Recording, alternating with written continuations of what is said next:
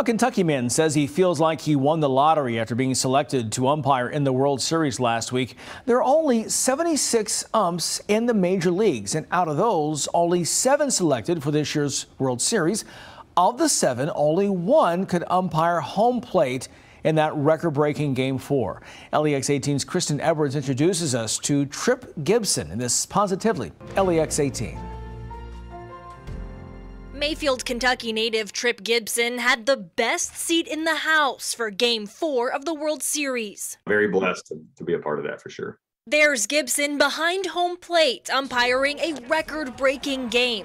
The first World Series no hitter since the perfect game with Don Larsen in 1956. I'm still a little bit shocked that it actually happened. He says he had to slow down the game in his mind and really focus, making sure he didn't get anything wrong.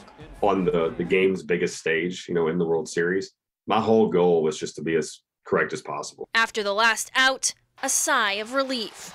It was just like this big, deep breath, I, I like a breath of fresh air, like I could kind of breathe again. He's overwhelmed with joy and honored by the experience, a journey that took root when he was a Kentucky boy in a small town. I can hear my dad right now saying, you know, it's not the size of, of the dog in the fight. It's it's the size of the fight in that dog. For other Kentuckians with big dreams, he says if you believe in that and in yourself, you can achieve anything, even a moment like this.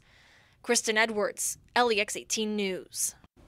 We have more details on how Gibson landed a career in the Major League Baseball up on our website, lex18.com. And you know that we love telling positive and fun stories happening around the bluegrass. If you have an idea, we would love to hear it. Email us at positivelylex18 at wlex.tv.